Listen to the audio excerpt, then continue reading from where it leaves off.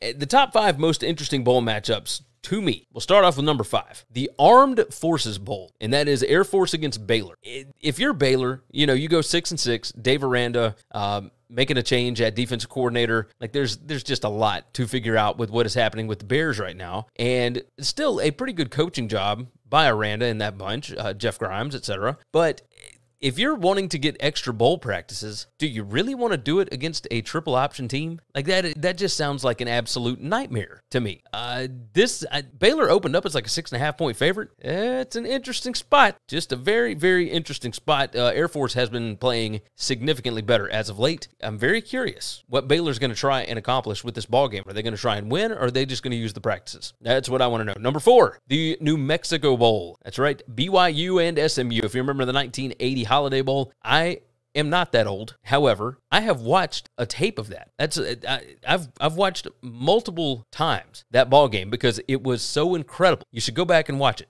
Really, uh, th- these teams have only met like three times. This could be interesting because I, you remember the SMU Houston game from earlier this year where nobody was able to get a stop, and I think the game ended like seventy-seven to sixty-three or whatever it was. I, you could have another one like this because I don't believe either one of these defenses is going to be able to get a stop here. Uh, but that's that's just a fun ball game. That's I mean that one's really going to be a lot of fun. Number three, the Alamo Bowl, Washington and Texas. What is the motivation for either one of these teams? Washington had USC won the Pac-12 title. Washington might have been in line to go to the Rose Bowl. How much does that mean? Is this a is this a disappointment? For them and with Texas, uh, you're going to the Alamo Bowl. You're not going to the Sugar Bowl or the Orange Bowl or the Cotton Bowl or whatever. Uh, this this one is a little bit less than what they really wanted to try and accomplish. What do they do here? So you're looking, you're trying to maybe play psychologist a little bit. Um, you know, big news with Washington. We'll talk about that here in a little while as well. Number two, eh, the intriguing matchup here: Tulane against USC. And I don't know that Caleb Williams is going to play in this ball game because of the uh, the hamstring injury that he suffered uh, in the Pac-12 title game. That one's going to be a lot of fun to watch and see because USC cannot stop anybody. Tyjae Spears may have an afternoon. I mean, he may just have uh, an NFL type of day, right? To where he is going to look absolutely fantastic. He has been beating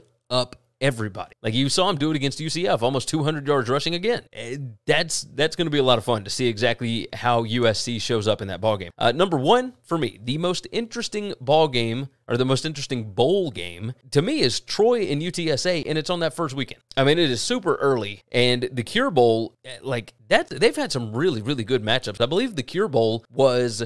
Liberty against undefeated Coastal Carolina not that long ago. I mean, it is an absolute awesome, awesome spot. And you got two top 25 teams here in Troy and UTSA. You got one really good defense, one really good offense, and the other two, the other two sides of the ball are starting to pick up the slack a little bit. These are two great coaches. I am excited. I am excited about that. We'll talk about all of the other bowl games, of course, over on the BetUS College Football Show. I will uh, do some analysis on all of the games here as well. But uh, but yeah, make sure you're subscribed here. Make sure you are subscribed over there as well. Uh, if you have not already, again, like the video for me, subscribe to the channel, and um, and yeah, thank you guys. Subscribe to the podcast as well. Uh, leave a nice five star review over there.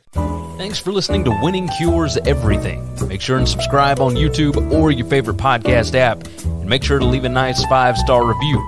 You can follow Gary on Twitter at GaryWCE, and the show is at Winning Cures. Be sure to check out the merch in our web store and share the show.